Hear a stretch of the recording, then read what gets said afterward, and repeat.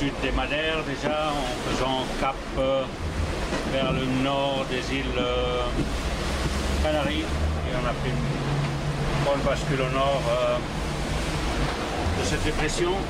Et voilà, tout, tout se passe pour l'instant comme prévu.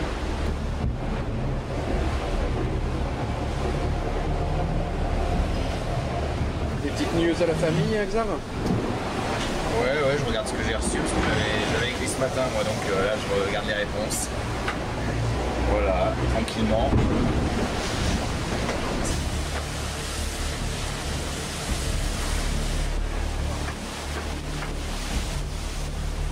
Deuxième quart de nuit.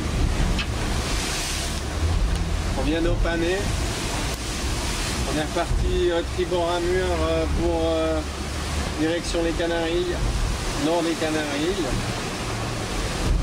La température est agréable, l'eau s'est radoucie, donc euh, non, non, on s'acclimate gentiment et puis euh, Et vous discutez avec Brian?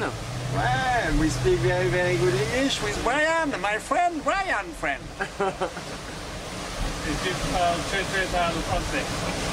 Exactement, exactement Brian. Ouais. Et, et Yvan parle très très bien l'anglais. Ah, very good English. Là on est en train de parer euh, donc euh, l'archipel des Canaries pour éviter ces zones de dévent euh, qui auraient pu nous retarder dans notre route vers l'équateur.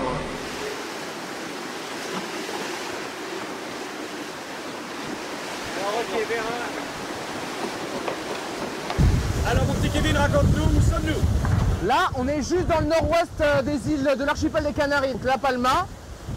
Ça vient de repartir parce qu'on a eu notre premier grain avec notre première pluie euh, d'eau douce qui a permis de rincer le bateau parce que jusqu'ici il a été bien arrosé par l'eau de mer.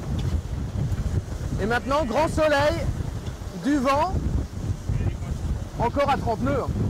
Encore à 30 nœuds, ça n'arrête pas. Ça reste jamais. Bah non, mais surtout que là maintenant on a retiré une couche. Et a priori ça risque de continuer comme ça et d'aller vers le soleil. On est déjà au on, soleil. on y est déjà, mais encore plus chaud. Après il va faire trop chaud, après il y en a qui vont se plaindre à bord. J'en ai déjà vu se plaindre cette nuit. Et là du coup c'est magnifique, belle île.